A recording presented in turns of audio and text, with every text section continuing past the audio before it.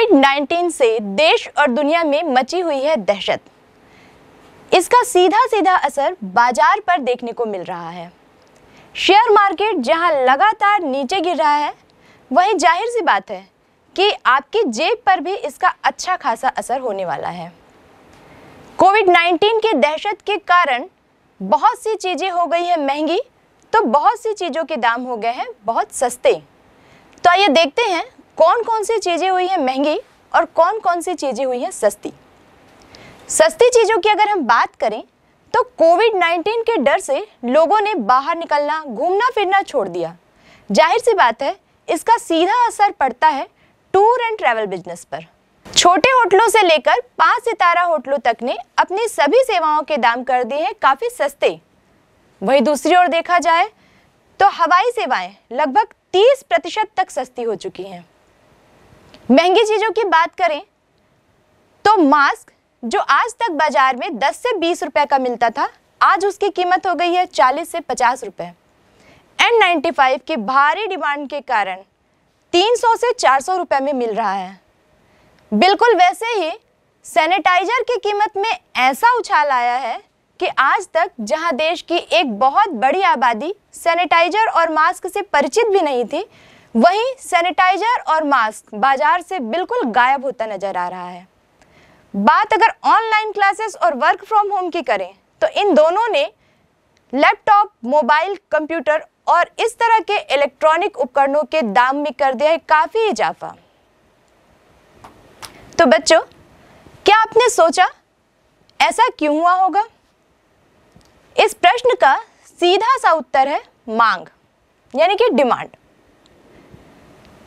Covid 19 के डर से जब लोगों ने मास्क पहनना शुरू किया, मास्क की कीमत बढ़ी। सैनिटाइजर का उपयोग करना शुरू किया, सैनिटाइजर की कीमत बढ़ी। क्योंकि मास्क की मांग बढ़ी, इसलिए उसकी कीमत में वृद्धि हुई। क्योंकि सैनिटाइजर की मांग बढ़ी, इसलिए उसकी कीमत में वृद्धि हुई। लोगों ने घूमना फिरना नॉनवेज खाना छोड़ दिया। या बिल्कुल बंद कर दिया। तो इन चीज़ों का प्रभाव जिन जिन वस्तु या सेवाओं पर पड़ा, वो चीज़ें हो गई काफ़ी सस्ती। कुल मिलाकर कहने का अर्थ यह है कि मांग और कीमत में ऐसा विपरीत संबंध है कि जैसे जैसे किसी वस्तु की कीमत घटती जाती है, उसकी मांग बढ़ती जाती है और जैसे जैसे किसी वस्तु की कीमत बढ़ती जाती है, उसकी मांग कम होती जाती है। मांग और कीमत के इस पूरे नियम को हम एक तालिका के रूप में पढ़ेंगे। क्या है मांग तालिका? इसे जानने के लिए हम एक परिभाषा देखेंगे। प्रोफेसर बेनहम के अनुसार, एक बाज़ार में, एक निश्चित समय में विभिन्न कीमतों पर किसी वस्तु की विभिन्न मात्राओं की मांग की जाती है। जब इन्हें एक तालिका के रूप में रखा जाए तो वह मांग तालिका के रूप में जानी जाती है। मांग तालिका को हम अर्थशास्त्र के अंतर्गत अध्ययन करने के लिए दो भागों में बांटते हैं। कौन कौन से हैं वो दो भाग? व्यक्तिगत मांग तालिका और दूसरा है बाज़ार मांग तालिका। आइए हम जानते हैं कि व्यक्तिगत मांग तालिका क्या है। व्यक्तिगत मांग तालिका। जैसा कि नाम से ही स्पष्ट हो जाता है कि व्यक्तिगत मांग तालिका किसी व्यक्ति विशेष द्वारा एक निश्चित समय में बाज़ार में जिन जिन वस्तुओं की मांग जिस कीमत पर की जाती है, उसको जब हम तालिकाबद्ध करते हैं तो एक व्यक्तिगत मांग तालिका का निर्माण होता है। आइए इसको और अच्छे से समझने के लिए हम देखते हैं व्यक्तिगत मांग तालिका का एक उदाहरण। व्यक्तिगत मांग तालिका में, जैसे कि आप यहाँ देख रहे हैं, हमने माना है कि एक व्यक्ति ए है और सेब के लिए उसकी मांग कैसी है एक बाज़ार में? यहाँ पे हम देख रहे हैं कि सेब की कीमत जब दस रुपये प्रति किलो थी तो उस व्यक्ति की मांग चालीस रुपये चालीस किलोग्राम सेब की थी। जब सेब की कीमत बीस रुपये हो गई तो उस व्यक्ति की मांग तीस किलोग्राम हो गई। जब सेब की कीमत तीस रुपये हो गई तो उस व्यक्ति की मांग सेब के लिए बीस किलोग्राम हो गई। वैसे ही जब सेब की कीमत बढ़कर चालीस रुपये हो गई तो उस व्यक्ति की मांग सेब के लिए 10 किलोग्राम हो गई। तो यहाँ पर यह स्पष्ट हो जा रहा है कि जैसे जैसे सेब की कीमत बढ़ती गई, उस व्यक्ति द्वारा सेब की जो मांग थी वो लगातार घटती गई। यहाँ पर हमने व्यक्तिगत मांग तालिका में मांग और कीमत के संबंध को देखा। अगर हम इस तालिका के आधार पर एक ग्राफ का निर्माण करें तो देखते हैं कि कैसे स्थिति प्राप्त होती है। यहाँ हमने रेखा ओ एक्स वस्तु की कीमत के लिए ली है और रेखा ओ वाई वस्तु की मांग के लिए। यहाँ हम देख रहे हैं तालिका के अनुसार जब सेब की कीमत दस रुपए थी तो उसकी मांग चालीस किलोग्राम सेब की थी। जब सेब की कीमत बीस रुपए हुई तो उसकी मांग तीस किलोग्राम हो गई। जब सेब की कीमत तीस रुपये हुई तो उसकी मांग घटकर बीस किलोग्राम हो गई। ऐसे ही जैसे जैसे सेब की कीमत बढ़ती गई, उसकी मांग कम होती गई। यहाँ पर अगर हम एक वक्र का निर्माण करें तो आप देखेंगे कि बाएँ से दाएँ नीचे की ओर गिरता हुआ एक वक्र, जिसे हमने डी डी वक्र का नाम दिया है, ये हमको प्राप्त होता है।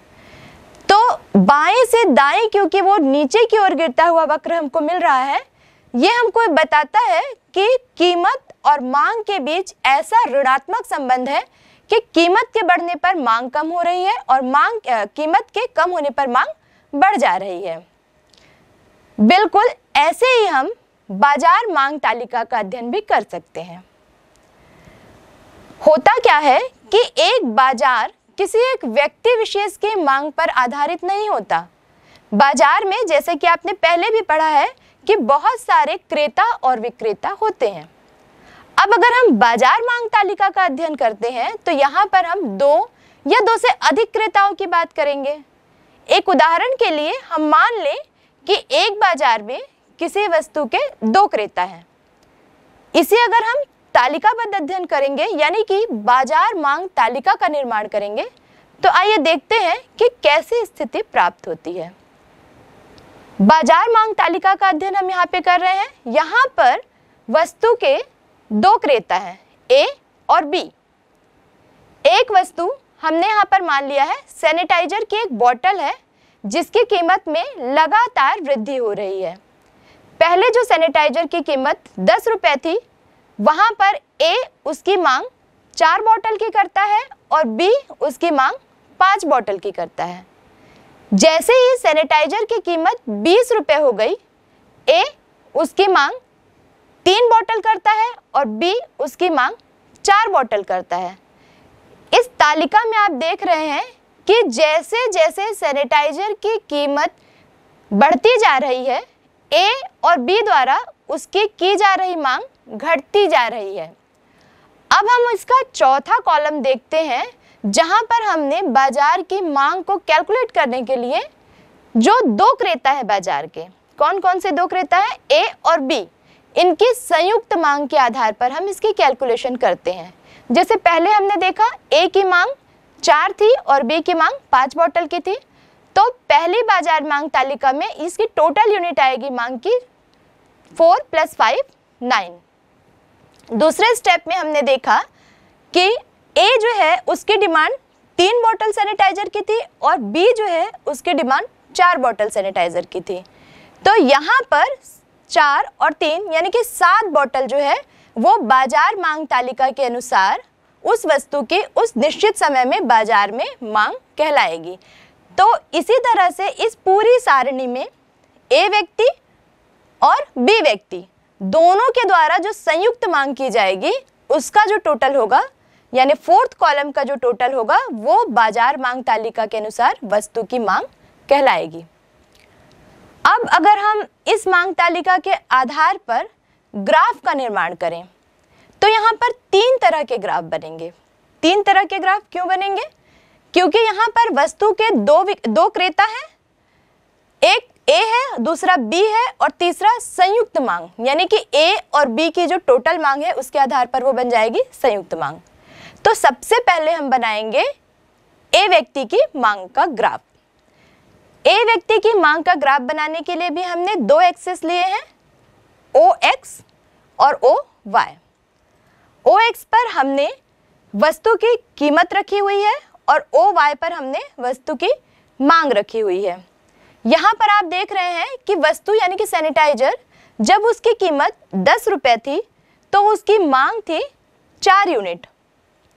जब उसकी कीमत सैनिटाइजर की कीमत बीस रुपये हो गई तो उसकी मांग हो गई तीन यूनिट वैसे ही जब सैनिटाइजर का मूल्य बढ़कर तीस रुपये हो गया तो उसकी मांग हो गई दो यूनिट और जब सैनिटाइजर का मूल्य और बढ़कर चालीस रुपये हो गया तो उसकी मांग हो गई एक यूनिट ये दर्शा रहा है कि जैसे जैसे सैनिटाइजर का मूल्य बढ़ा, उसकी मांग लगातार कम होती गई. तो जैसा कि हमने इसके पहले वाले ग्राफ में पढ़ा यहाँ पर भी डी डी वक्र से हम देख रहे हैं कि ये जो ग्राफ है, ये बाएँ से दाएँ, नीचे की ओर गिरता हुआ नज़र आ रहा है। यानी कि ये ऋणात्मक संबंध को प्रस्तुत करता है कीमत और मांग के बीच। बिल्कुल ऐसा ही ग्राफ आप बी व्यक्ति के लिए भी बनाएँगे और अगर हम सी व्यक्ति के लिए ग्राफ का निर्माण करते हैं तो उसके लिए हम हमारी पुरानी तालिका इस तालिका में जो फोर्थ कॉलम है, उस फोर्थ कॉलम के आधार पर हम संयुक्त मांग तालिका का निर्माण कर सकते हैं। आइए अब देखते हैं कि मांग के प्रकार कौन कौन से हैं। मांग के तीन प्रकार हैं। पहला है कीमत मांग, दूसरा आय मांग। आय मांग को हम दो वस्तुओं के अंतर्गत अध्ययन करते हैं। इसमें पहली वस्तुएँ हैं, उत्तम क्वालिटी की वस्तुएँ जिन्हें हम उत्कृष्ट वस्तु या ब्रांडेड प्रोडक्ट भी कहते हैं। और दूसरा है, निकृष्ट यानी कि गिफिन वस्तुएँ जिन्हें हम नॉन ब्रांडेड प्रोडक्ट कहते हैं। तीसरा है, आड़ी और तिरछी मांग। आड़ी और तिरछी मांग के अंतर्गत हम दो प्रकार की वस्तु का अध्ययन करते हैं। एक, प्रतिस्थापन वस्तुएँ और दूसरा, पूरक वस्तुएँ। तो आइए सबसे पहले देखते हैं मांग का पहला प्रकार, यानी कि कीमत मांग। वास्तव में कीमत मांग ही अर्थशास्त्र में मांग की परिभाषा है। जैसे कि हमने सीधा सीधा अभी तक हम पढ़ते आ रहे हैं कि कीमत और मांग दोनों एक दूसरे से प्रभावित होते रहते हैं। अभी तक की क्लास में हमने जाना कि कैसे किसी वस्तु की कीमत बढ़ने पर मांग घट जाती है या कीमत घटने पर उसकी मांग कम हो जाती है। अगर हम इस कीमत मांग को एक तालिकाबद्ध करने के बाद ग्राफ का निर्माण करें तो क्योंकि हमने इसको पहले अध्ययन किया हुआ है हमने, एक हम देखते हैं कि किस तरह का ग्राफ हमको यहाँ पर प्राप्त होगा। तो अगर हम कीमत मांग की बात करें तो सिंपल सा एक ग्राफ हम देखते हैं कि ओ एक्स एक अक्ष है जिस पर वस्तु की कीमत ओ मांग पर वस्तु की मांग। और यहाँ पर ये जो वक्र है, अभी तक की कक्षा में जैसे हमने देखा, बाएँ से दाएँ, नीचे की ओर गिरता हुआ हमको एक डी डी वक्र प्राप्त होता है, जो कि यह दर्शाता है कि कीमत और मांग में ऋणात्मक संबंध होता है। अब मांग का दूसरा प्रकार, यानी कि आय मांग की हम बात करें। तो क्या है आय मांग? जैसा कि नाम से ही स्पष्ट है, आय से संबंधित जो मांग होती है। किसी व्यक्ति की आय अगर बढ़ जाती है तो कई बार ऐसा होता है कि किसी वस्तु विशेष की मांग बढ़ जाती है या कम हो जाती है, और कई बार ऐसा होता है कि किसी व्यक्ति की आय कम होने पर किसी वस्तु विशेष की मांग बढ़ती है या कम होती है। तो कैसी वस्तुएँ हैं? कौन सी वस्तुएँ हैं? कब उसकी मांग बढ़ेगी? कब उसकी मांग घटेगी? इसको और अच्छे से स्पष्ट करने के लिए जैसा कि मैंने पहले ही बताया था कि हम इसको दो वस्तु के अंतर्गत इसका अध्ययन करेंगे। पहला, अगर हम उत्कृष्ट वस्तुएँ, यानी कि ब्रांडेड वस्तु की अगर हम बात करते हैं तो उस पर क्या असर पड़ता है? किसी व्यक्ति की आय में वृद्धि का। अगर किसी व्यक्ति की आय बढ़ जाती है उसकी आय पहले से ज़्यादा हो जाती है तो वो ब्रांडेड वस्तुओं को खरीदने की कोशिश करेगा। क्योंकि हमने पहले भी जाना है कि प्रत्येक व्यक्ति की ये इच्छा होती है कि वो एक आरामदायक और अगर ज़रूरत है तो विलासितापूर्ण जीवन वो यापन करना चाहता है। तो ज़ाहिर सी बात है कि अगर उसकी आय बढ़ेगी तो उत्कृष्ट वस्तुओं की मांग बढ़ जाएगी। यहाँ हम देख रहे हैं कि आय और मांग का जो संबंध है, वो धनात्मक है। क्योंकि आय बढ़ने के साथ साथ ब्रांडेड वस्तु की मांग भी बढ़ रही है। तो आय और ब्रांडेड वस्तु की मांग को अगर हम ग्राफ द्वारा प्रदर्शित करें तो हमको एक धनात्मक संबंध वाला ग्राफ दिखाई देता है। आइए देखते हैं। यहाँ पर हमने ओ एक्स पर वस्तु की मात्रा ली है। ओ वाई पर हमने आय लिया हुआ है। यहाँ हम देखते हैं कि जब उस व्यक्ति की आय ओ एन थी तो वहाँ पर वो वस्तु की कितनी मात्रा की मांग करता था? ओ क्यू लेकिन जैसे ही उसकी माँ, उसकी आय बढ़ गई, यानी कि आप यहाँ पे देख रहे हैं ओ एन वन हो गई, वैसे ही उस वस्तु ने उस व्यक्ति ने इस ब्रांडेड वस्तु की मांग को बढ़ाकर कहाँ तक पहुँचा दिया? ओ क्यू वन तक पहुँचा दिया।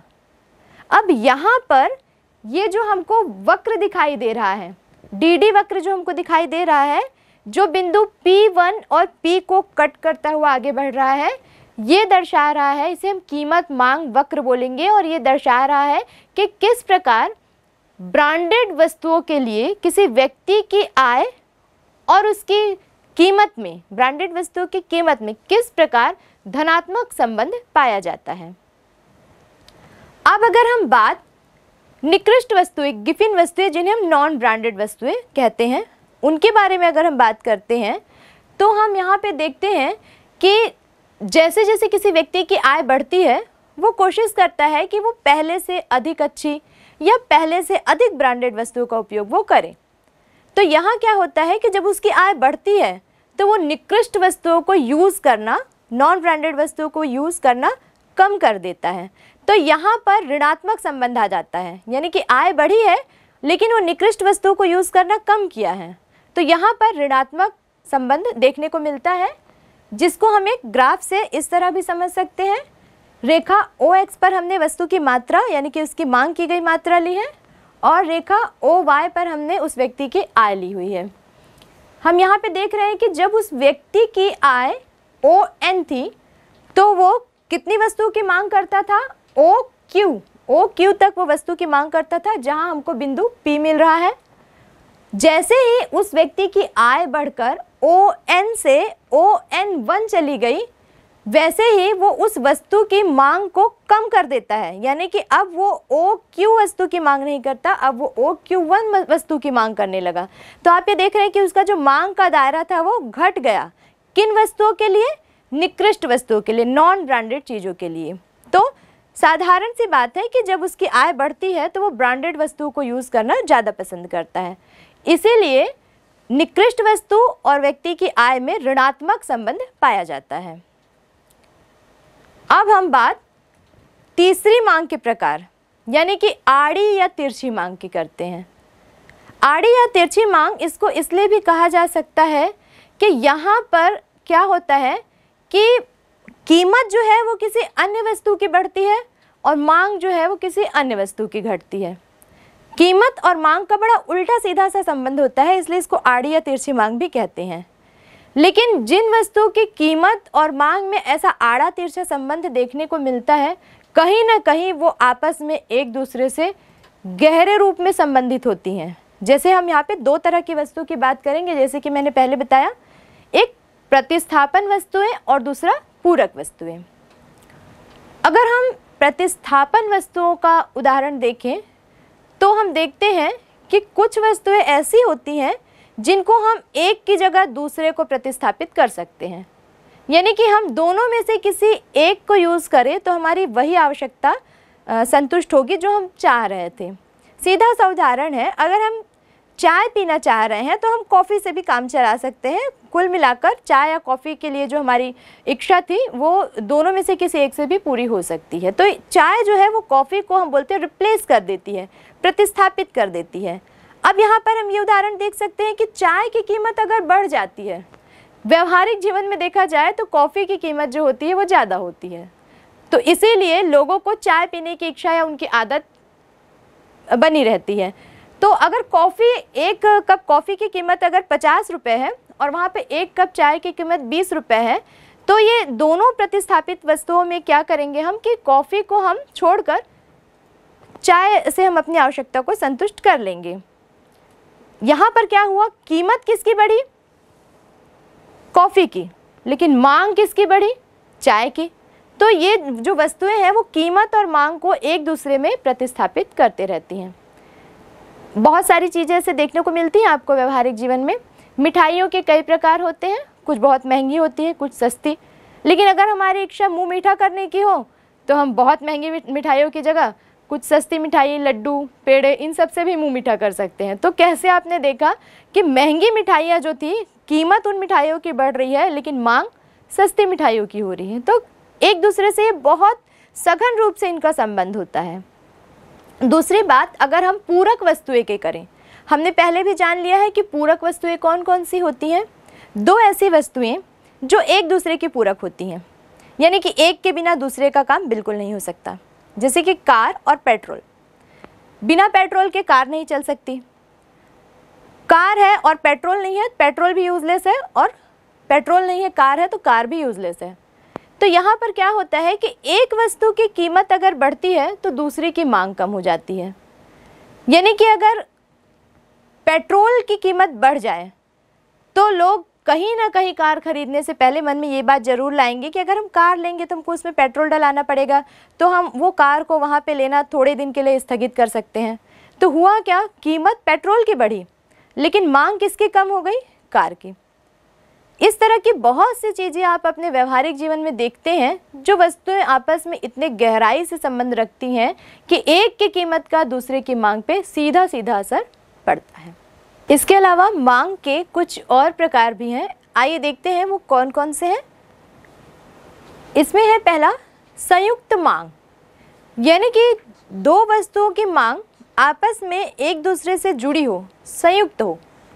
इनके अंतर्गत हम देखते हैं कि अभी हमने जैसे पढ़ा कि कार और पेट्रोल दोनों एक दूसरे के लिए पूरक हैं। किसी एक के अभाव में दूसरे का कोई महत्व नहीं रह जाता।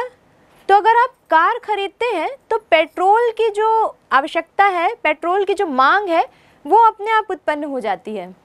वैसे ही अगर हम मोबाइल खरीदते हैं तो सिर्फ़ मोबाइल के डब्बे से या मोबाइल से आपका काम चलने वाला नहीं है आपको उसको क्या करना कराना पड़ेगा? रिचार्ज करवाना पड़ेगा, है ना? तो मोबाइल के लिए आपको सिम की ज़रूरत है रिचार्ज करवाने की ज़रूरत है तो ये दोनों मांग एक दूसरे से जुड़ी हुई होती हैं। वैसे ही दूसरा है व्युत्पन्न मांग। व्युत्पन्न मांग, जैसे कि मांग, नाम से ही स्पष्ट है कि उत्पन्न होने वाली मांग। ऐसे सीधा सीधा देखा जाए तो व्यवहारिक जीवन में इसका संबंध श्रम से ही होता है। किसी भी व्यक्ति किसी द्वारा किसी भी व्यक्ति द्वारा किसी वस्तु या सेवा की अगर मांग की जाती है तो उसका सीधा असर प्रोडक्शन यानी कि उत्पादन पर पड़ता है। और उत्पादन के लिए ज़रूरत होती है श्रम की तो वहाँ पे अपने आप ही श्रमिकों की मांग बढ़ जाती है। वैसे ही तीसरा है सामूहिक मांग, यानी कि एक साथ उत्पन्न होनी होने वाली मांग। कुछ ऐसी चीज़ें हैं जो जीवन रक्षक हैं, यानी जिन्हें हम बोलते हैं जीवन जीने के लिए अति आवश्यक है, जैसे रोटी, कपड़ा और मकान। ये वस्तुएँ ऐसे हैं जिनकी मांग सामूहिक रूप से की जाती है, चाहे वो उच्च स्तर का व्यक्ति हो, मध्यम स्तर का हो या निम्न स्तर का। तीनों व्यक्तियों के लिए जो रोटी, कपड़ा और मकान, यानी कि जीवन जीने के लिए जो आवश्यक वस्तु है, जिनको हम अनिवार्य आवश्यकता की श्रेणी में रखते हैं, उनकी मांग सभी स्तर के लिए सामूहिक रूप से पर्याप्त मात्रा में की जाती है। तो ये थे मांग के प्रकार। अब आइए देखते हैं कि ऐसे कौन कौन सी चीज़ें हैं जो मांग को प्रभावित कर सकते हैं। मांग को प्रभावित करने वाले तत्वों में सबसे पहला है वस्तु की कीमत, जिसको कि हम अभी तक की कक्षा में पढ़ते आए हैं। कीमत प्रत्यक्ष असर डालती है मांग पे वस्तु की कीमत अगर बढ़ जाती है तो मांग कम हो जाती है। वस्तु की कीमत अगर घट जाती है तो मांग बढ़ जाती है। दूसरा तत्व है मौसम या जलवायु। आपने देखा होगा कि ठंडे प्रदेशों में, जहाँ की जलवायु बहुत ठंडी है, वहाँ लोग गर्म चीज़ों का प्रयोग करते हैं। खाने में या पहनने में उन्हीं वस उन्हीं चीज़ों का प्रयोग वो करते हैं, जिनसे उनको ठंडक से राहत मिल सके। जैसे हिमाचल के क्षेत्रों में आपने देखा होगा कि ठंडी की वजह से वहाँ लोग गर्म कपड़ों का बहुत ज़्यादा प्रयोग करते हैं। तो जलवायु के हिसाब से किसी भी व्यक्ति की आवश्यकताएँ या उनके द्वारा उत्पन्न होने वाली मांग निर्धारित होती है। वैसे ही मौसम के अनुकूल मांग में परिवर्तन होता रहता है, जैसे बारिश के दिनों में रेन कोट या छाते की मांग बढ़ जाती है। ठंड के दिनों में हम देखते हैं कि ऊनी कपड़ों की मांग बढ़ जाती है। गर्मी के दिनों में ठंडा रखने वाली चीज़ें, जैसे कि एसी कूलर इनकी मांग बढ़ जाती है।